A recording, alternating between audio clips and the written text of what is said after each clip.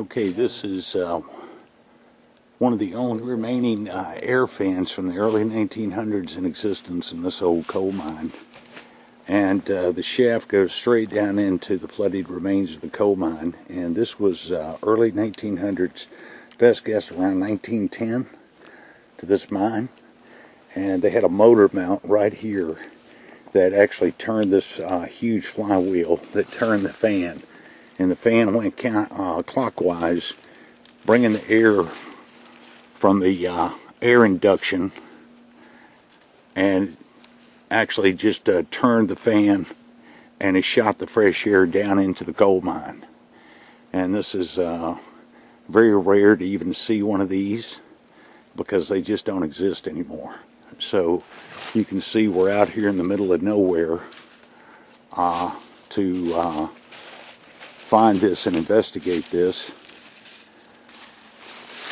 So it's pretty historic. They, these just don't exist anymore.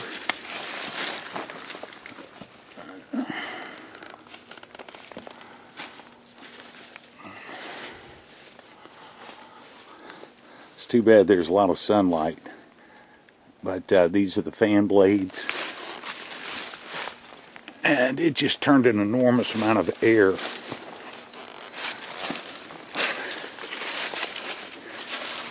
into the coal mine, keep it ventilated.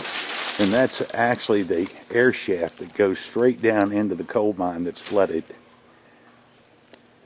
So, pretty historic. And uh, also, it's don't want to get too near that shaft slip in there because if you go down in there, you're not coming back out. So who knows how deep that coal mine is. But anyway, just thought I'd video this because it's very historic. You just don't see these anymore. When they uh, ceased operations in coal mines and tore everything down, sealed up the mines, they, they dismantled all this stuff and sealed up these shafts. So but uh, just thought uh, we'd document this to show how historic it is.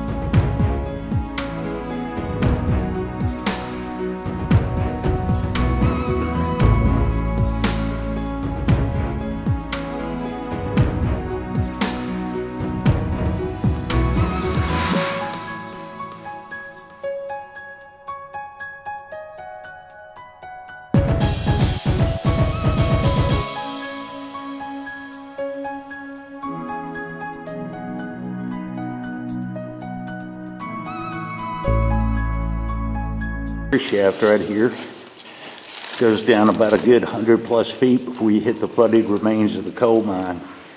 And this is uh, it's pretty, pretty, pretty steep, straight down shot. This is what the miners had to make uh, for the construction of this air shaft.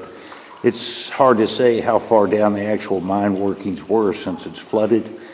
But like I said, that's a good 100, 125 feet to the water and it's no telling, you know, how much the water is up over the actual mine workings, but uh, anyway, that's uh, pretty dangerous. So we don't want to give the location out of uh, where this mine is in the woods just for this reason.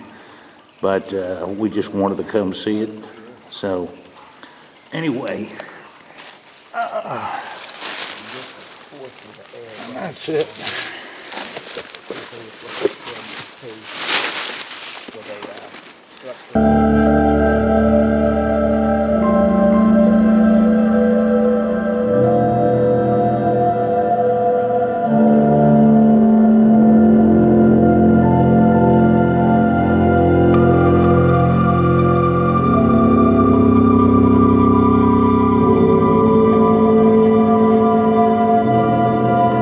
The actual fan to the air shaft right here This is about 19 that you can see. But just stuck out here in the middle of nowhere, deep in the woods. Did uh,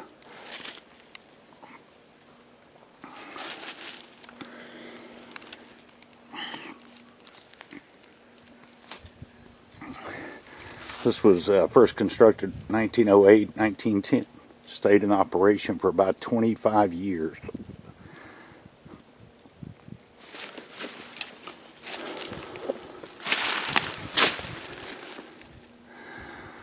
Still intact. And you can see the uh, spindle right there, which they had a power plant right here, a big motor. And it's probably uh, at first steam driven, you know, steam to supply electricity, and then later in years it was converted to all electric.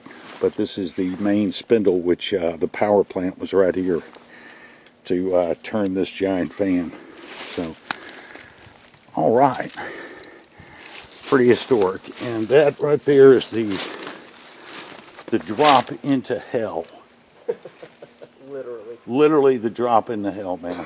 So, okay, well, that was great to finally come out here and see this. So, you can see we are deep in the woods. There is no one anywhere for a long way around.